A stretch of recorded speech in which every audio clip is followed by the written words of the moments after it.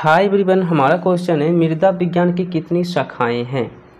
Option number A है आठ option number B है तीन ऑप्शन नंबर सी है पाँच ऑप्शन नंबर डी है दो। ओके तो मृदा विज्ञान के जो है, दो शाखाएँ हैं, दो ब्रांचेज है, ठीक है? तो option number D correct answer हो जाएगा दो, ठीक है? तो आज के लिए इतना वीडियो को लाइक करें, चैनल को सब्सक्राइब करें, मिलते हैं नेक्स्ट वीडियो में सो थैंक यू